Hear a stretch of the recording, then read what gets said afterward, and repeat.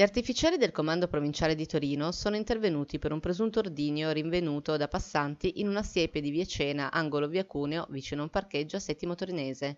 L'area è stata transennata dai militari della locale tenenza dei Carabinieri. Gli artificieri dei Carabinieri, giunti sul posto, hanno operato sul luogo di ritrovamento del presunto ordigno, che sembrava essere dotato di un timer. Il protocollo di sicurezza impone l'uso del cannoncino a distanza prima di avvicinarsi al manufatto. Contemporaneamente, due cani antiesplosivi del nucleo Carabinieri Cinofoli hanno effettuato le dovute bonifiche verifiche dell'intera area.